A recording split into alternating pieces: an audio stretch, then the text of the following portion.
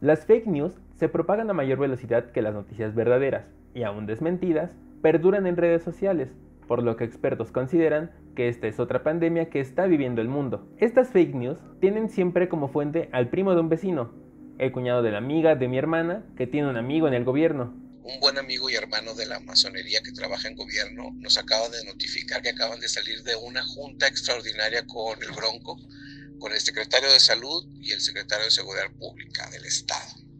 Que el pedo está cabrón.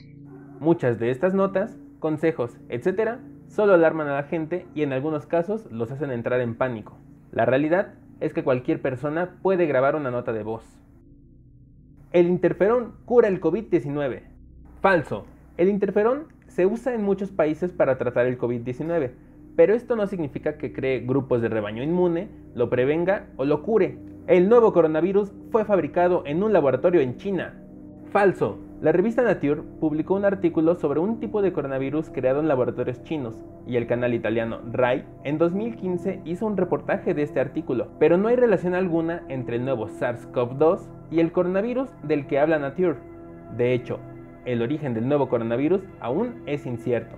Una dieta alcalina te hace inmune al COVID-19. Falso. El pH es el nivel de alcalinidad de nuestro cuerpo.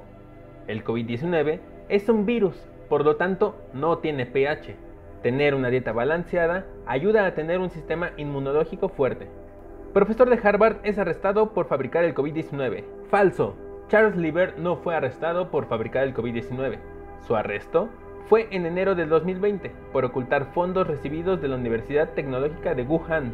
El COVID-19 es un invento del gobierno mexicano. Falso. El COVID-19 no significa Chapo o Vidio Guzmán. 19 años que atraparon al capo. El nombre se toma de la palabra coronavirus y disease, enfermedad en inglés, mientras que 19 representa el año en que surgió. Ah, eso es pura mentira. Tengo hasta la fecha 73 años y he pasado tremendas cosas y esto es mentira. Este es un golpe del gobierno. Y no, no es un invento del gobierno, es una enfermedad que está atacando a la humanidad matando hasta el día 8 de abril del 2020 a 79.235 personas en el mundo. En nuestro país a 174, y de cual aún no existe cura. Si aún después de ver este video tienes duda o tentación de reenviar el audio o la nota que te pasó tu tía, tu tío, que pusieron en algún grupo de WhatsApp o que encontraste en alguna red social, puedes mandar un mensaje al 55 73 29 34 71 nosotros te contestaremos con información totalmente verídica y de fuentes oficiales.